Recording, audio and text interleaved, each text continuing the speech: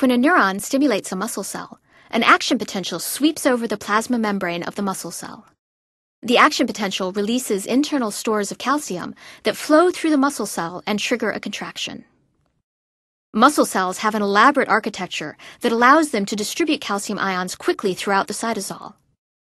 Deep tubular invaginations of the plasma membrane, called T-tubules, crisscross the cell.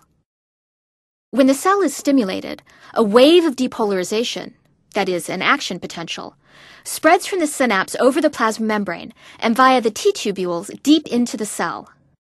A voltage-sensitive protein in these membranes opens a calcium release channel in the adjacent sarcoplasmic reticulum, which is the major calcium store in muscle cells, thereby releasing a burst of calcium ions all throughout the cytosol of the cell. Within a contractile bundle of a muscle cell, called a myofibril, the calcium interacts with protein filaments to trigger contraction.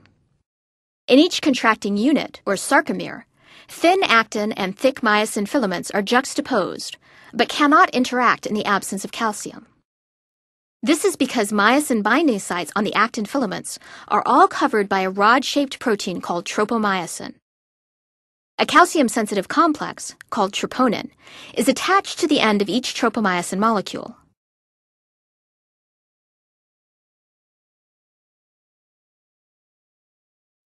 When calcium floods the cell, troponin binds to it, moving tropomyosin off the myosin binding sites.